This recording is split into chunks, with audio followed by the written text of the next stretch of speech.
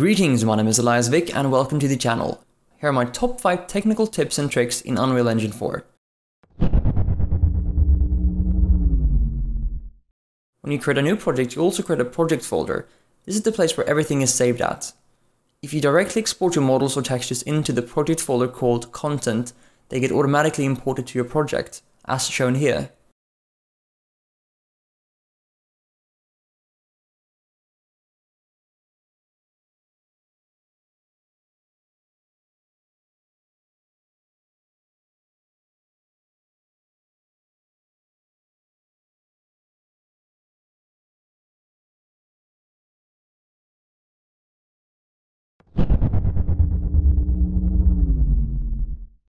Unreal Engine 4 uses centimeters and power of 10 as their measurement system, which means that it's scaled to real life.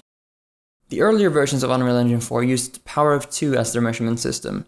If you want to work in power of 2 instead of power of 10, you can switch the grid snap settings by going into the Edit, Editor Preferences, Level Editor, Viewports. In here you can tick the box that says Use power of 2 snap size.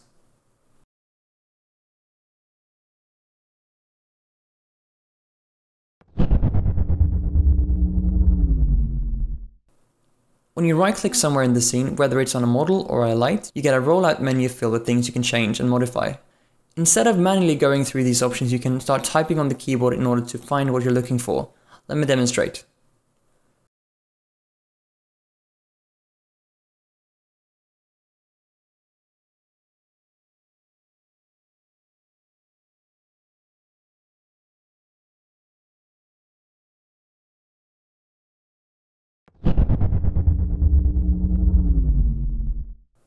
You can press the End key on the keyboard in order to snap your selected models to the closest surface on the Z-axis.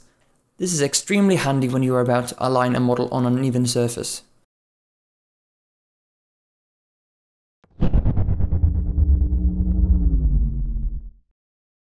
You can lock the movement of any object by right-clicking on the object and then under the category Transform, select Lock Actor Movement.